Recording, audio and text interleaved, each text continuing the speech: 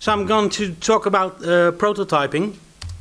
And let me be clear, I'll be starting with uh, what a prototype is and how and who should make them. And also I will be discussing best ways uh, how to build prototypes. And because I'm, it's the last session, uh, and uh, probably everybody's quite tired, especially with those nice chairs, I want to see some hands. Who ever created a mobile application? Yeah. And who ever made a prototype? What are you doing here? cool. Okay. Great audience. So, my name is Wiebe Elsinga, and I know it's a difficult name. I'm from the Netherlands. And I work for a, com a, small company in the Netherlands, and we make mobile applications for Android and, yeah, some stuff for Apple as well. But, and I'm also a co-founder of the Dutch Android user group, and we try to elevate the, tech, the uh, more technical skills of Android developers uh, within Holland but I'm not going to talk about me. What I do want to talk about is what a prototype is. And it sounds like an easy question, right? What is a prototype? Well, for me, it wasn't. It took me a while to figure out what a prototype really is, and I came up with a good definition. I think it's a uh, early version of an ID, or even better yet, you, a testable one. So a good way to test the definition is by way of giving some examples. So, what are these called? Yeah, I'm not giving, giving away any prizes, by the way, and I'm not gonna throw chocolates. Oh, that was a weird guy. Um, yeah. So this is a, a good way of, of uh, a new way of transport, but um, and it was a novel idea, but it already was a finished product when you when it came out. And also, I'm sorry to say, but it was a revelation when the iPhone came out, right? Yeah, not everybody's quiet, but yes. yeah, yeah. Still, I'm an Apple fan as well. Um, but when it was introduced to the pub public, it already was mass-produced. So this isn't this isn't typically a prototype. And neither is this. And you can buy this really. It's 8 euros and it protects you when you eat noodles. So, but this is, this is, and I hope to say, I'm, I'm gonna pronounce his name, Pranav. And in 2009, he was watching a movie and he saw some cool technique, technique and he wanted to try out if he could make it uh, on his own. And he uh, bought some supplies at the Radio Shack and uh, tried to figure out if the technique is possible in real life. Uh, did you know which movie he saw? Yeah, that's true. And he succeeded, by the way. Uh, there's a um, working, it's, it's not finished yet, but it's a working device which uh, mimics the, the gestures you, you put in, in, in the air.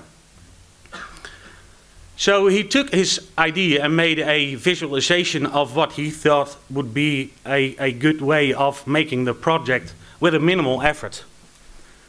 And can somebody explain this prototype? Ah, come on. Close? It was the first prototype of the iPod. No, but seriously, this raises the question: Why should we use prototypes, right? What what's in it for us as as developer or as uh, uh, an, uh, a creator of ideas? So basically, a prototype should answer some questions from your stakeholders or your customers or the end users you'll be making the uh, application for, and probably will generate new ones as well. And also, it's uh, a prototype is a good way to explore the different alternatives or compare the different alternatives. For instance, using a, how the best way to use a stylus. And um, when building an, an, application, it's probably a good idea to know if the application will fail early and cheaply because it's very expensive if the app, if the the application is already built or in its final stage. Great protection, by the way. Yeah, it's in Holland, by the way. Sorry, but let's look at some examples of some bad applications for mobile. Do I really want to share my location with sex offenders? So probably isn't the best way to do this. And also, if I want to make a donation, what I'm giving money for. For or against prostate cancer. These are real life examples of a bad application. So to summarize, a prototype is a, visualization, is a visualization of an idea which you can share to your stakeholders, not only with the end user, but also with a developer or with a friend or even your mom. And basically you have to fake it till you make it. Again, who's this? Urkel, yeah. It was the first nerd in a television show. This raises a question, a question who is responsible and who will make the uh, prototype. I had a, I think it was two weeks ago, I had a online discussion with uh, different designers and um, they thought they were responsible for the design, right?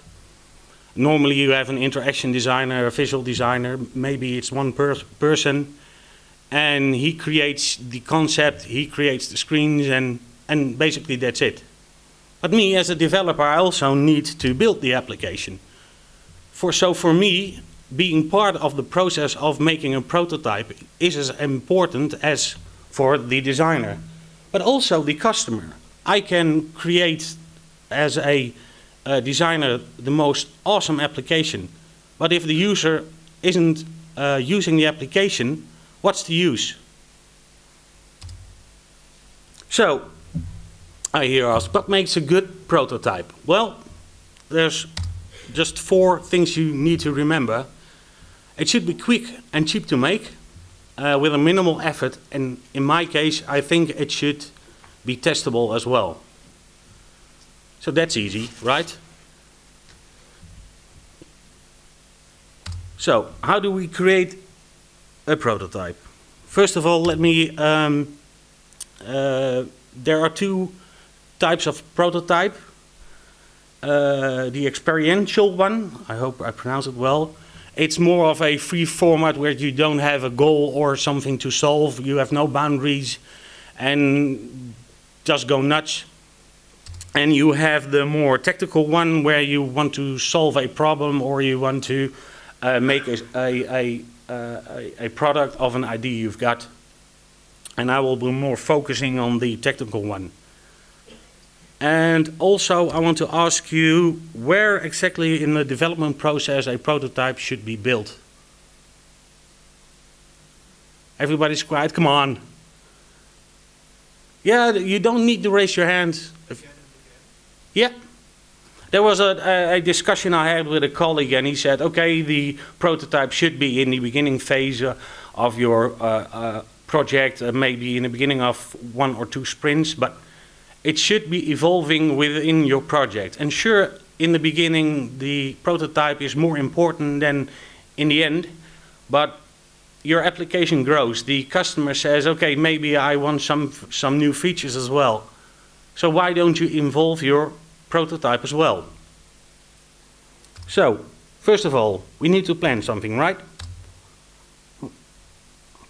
We have the we have to define user stories. User stories mainly is a high level of definition of a requirement of functionality.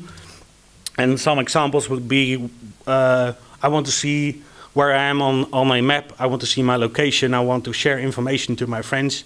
And if you identify these uh, functional blocks or these tasks, uh, you have a uh, high level idea of what the application should be doing.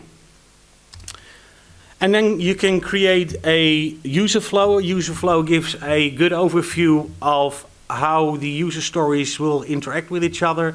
It gives you a, a more understanding of the whole application. And then the fun part, you can sketch uh, rough interface screens. Don't go mad. Don't do high fidelity uh, screen uh, sketches, but stick to the, the main user stories and try to visualize the ID on the different screens. And then we're already, uh, we can build the, the prototype, not the application, the prototype. And there are some tools you can use. Uh, mo, uh, um, a common one is using a stencil. You can buy one for, I think, 20 euros on uistencils.com. And uh, yeah, you can you can make your prototype like this, but it's it, it, gives you a high fidelity. But if you do something wrong, if you draw a line uh, too long, you need to start over again. So it's a lot of work. And um, the guy who was throwing the chocolates, he told us about uh, using uh, paper prototypes, right? Um, just watch.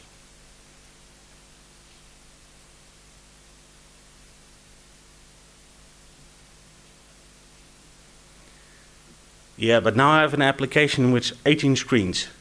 How long does the movie will take? Right? It, it, it, it gives a better idea of the interaction the application should be doing, but it's really time consuming. So probably isn't the best tool to use. Maybe for you, but for me, I find it very time consuming. By the way, this is the Expedia application prototype. Uh, most common use are uh, templates, templates for Photoshop, Fireworks. Um, for me as a developer, I'm not very handy with Photoshop, so it took me a while to figure out how to make good prototype screens. Uh, but it's a more real-life way of making your screens look like the end product. And especially you can project the different screens on your device, which gives the customer a good way of uh, inter between the different screens as well. But I'm lazy, I want to do something that is fast, which can be tested as well, and which I probably know and we use, I'm not selling Keynotopia by the way, but we use Keynotopia. And Keynotopia is a uh, common library for uh, PowerPoint and Keynote. And it has predefined components for uh, Android, uh, web, iOS as well. And I can create my presentation which, with these components, but the difference is, and I hope by the way, this is an iPod, I'm sorry, of an iPad, I'm sorry. But I can run this on an actual device. It gives me a great uh, uh, idea of if the button is uh, uh should be big enough, it's the correct place. It gives me more, more of an interaction. And basically, it's just a clickable PDF which runs on your application, which is generated by PowerPoint, right? Um, the reason why this is on an iPad, they're still in the final phase of making the Android application. But if you contact me on Google Plus, I can send you the uh, the the runnable APK which you can run your uh, keynote on. Probably won't be happy that I'm doing this. Um, but there's also a, uh, you can make your prototype in the cloud. There are numerous services for that. The advantage of this is that you can share your prototype with your customer who mostly isn't on site where you create your awesome prototype. Um, but again, there are some costs and um, you need to learn the, the specific project, uh, yeah, product. And I'm not saying these are the ways to go. There are numerous, numerous uh, different tools. Uh, Balsamiq is a common is a common use, especially for the iOS developer, uh, creators, designers, user experience designers. And it all depends on your needs. What you think is most common uh, use within your company or the knowledge you already got. Um, Yeah. Let me grab a drink. So, I mentioned uh, testing earlier. And in my opinion, you should test several prototypes you make. I know you, as a designer or as a developer, you are focused on just one cool, awesome app, but try to, uh, let's say the menu or the navigation. Uh, common use is the navigation bar or the action bar, but try to create one with a fly-in menu. and uh, maybe the customer likes uh, that prototype, but always be true to your user story, in this case holding the liquid. But don't be afraid to go bold out with different kind of prototypes. And of course, uh, don't be afraid of feedback. Um, ask your mom what she thinks of the application. Ask your girlfriend, wife, or whoever you want to ask. But always target your uh, audience with uh, whose application will be using. I think that's the most important one. So you make your application, of you, you make your prototype, you test it some, and then you need to refine it. Dis discuss your uh, prototype with customer or the stakeholders. By the way, which one of these three is the customer? Come on, no. Yeah, and the creative guy? Yeah, always funny that everybody picks the same ones. Um, but discuss your um, uh, prototype and maybe the user says, but uh, hey, that wasn't the idea of, that wasn't the user story I was thinking about. Maybe he gets new ideas, maybe uh, he wants to elaborate. And use those findings from the discussion to uh, refine your prototype, make it even better for your customer or the stakeholder uh, and then test again, redefine it again, and test it again, and go on till your customer, your stakeholder is happy. And finally, I love this picture, by the way. Can't imagine my brother is like this, but um, share share your uh, uh, prototype with whoever you want to share it with. Don't be afraid to expose your application uh, I know there are some some uh, boundaries of security, maybe, or uh, you don't want everybody to know what cool application you're going to build, but try to share it and uh, listen to the different points of views those people uh, have. And just play with. Don't bother with writing a whole lot of spec specifications. Just play with it. Just create your prototype, run it, test it, so basically, I, did, I talked to you about planning, building, testing, refine, and sharing it. And basically, these are the common steps you can use to make your prototype. And I know we're at the end of, of DroidCon, and I know you have a lot of presentation you heard.